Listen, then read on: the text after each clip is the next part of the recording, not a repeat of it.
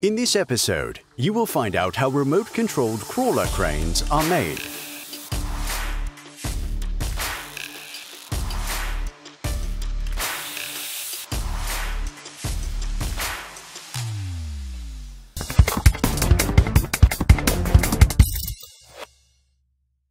The transport, building equipment, gardening or metalworking industries use small cranes to help when loading, transporting loads and carrying out construction work, including the installation of glass and windows, among other things.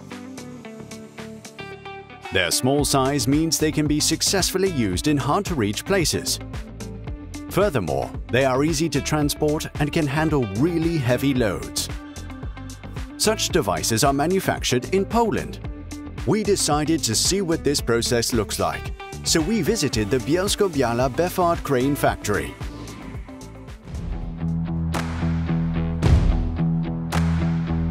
The hero of this episode is the Befard XM800 mini crane, mounted on a crawler chassis of the pick and carry type with a column rotation function. As the name suggests, it has a lifting capacity of 800 kilograms, is radio-controlled, and runs on non-marking crawlers that allow it to operate both on difficult terrain and inside production halls. First, the design of the machine is created. This step starts with the conceptual phase and ends with endurance testing and prototyping. The company is provided with design software and specialized software to perform strength and overload calculations. The production can now begin. We start with plant number one in Łęki, which manufactures structural components for lifting equipment. First, a laser cutting machine is set in motion. The machine is loaded with a program and cuts individual components from sheet metal A pipe and profile cutting machine is located immediately next to it. The cut parts are bent on press brakes. The press you see here has a press force of 320 tons. Sheet metal up to 20 millimeters thick can be bent here. In the semi-finished parts warehouse, parts are waiting to be welded, painted or assembled.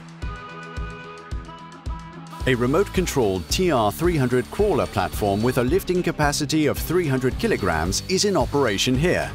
It is capable of moving up and down stairs, which comes in very handy in small spaces. The carriage parts of our mini crane go for welding. The work is carried out by welding robots. For larger parts, standard welding robots are used, while for smaller parts, there are easy-to-use welding stations with so-called cobots. The workpieces now travel to a cabin blasting machine, where they are cleaned with high-pressure steel shot. The operator is wearing a special protective visor, which is ventilated with fresh air. Now it's time for painting. In the paint shop, colors such as green, red and blue are applied. But on request, we can produce any color according to RAL. The primer is applied first, the primer is then heated in the oven, after which the actual painting takes place. Again, the oven, with a temperature of 180 degrees Celsius. Once dry, the parts are ready for assembly. For this, they make the journey to the plant in Kozy. But before we see what the process of assembling the product looks like, let's take a brief look inside the production hall. There are some interesting things here. In its first part, there are milling machines, including the UMC 1000, a five-axis machine used mainly for machining large-format machine components, and a wire EDM machine, which is used to cut complex shapes by electro-erosion. Further down the hall, numerical lathes are in operation. The digitally controlled machines process every type of material, from plain, structural and refined steel to brass, aluminium and plastics. We now move on to the heart of the plant, the assembly hall, where products are assembled. Primarily mini cranes from the TB7002 series, but on the other side of the hall, you can also see our XM800 self-propelled cranes. At this stage, most of the work is done manually.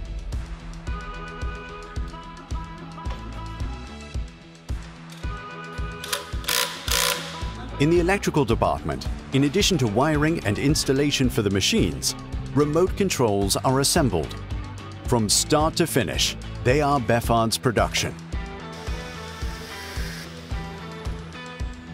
The finished products reach the quality control department. Here, all the systems are checked and once the machine is plugged into a computer, configuration is carried out. The mini cranes can then get ready for departure. 85% of them will go to foreign customers across all continents.